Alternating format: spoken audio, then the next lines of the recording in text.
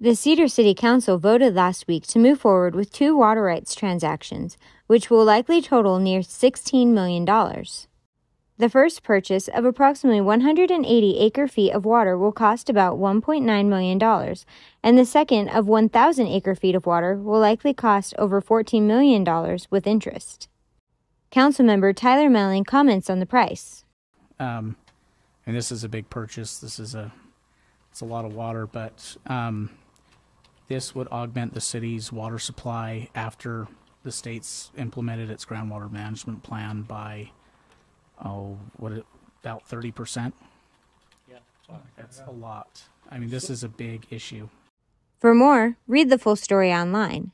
This is Alysha Lundgren reporting for Cedar City News, your number one source for local news.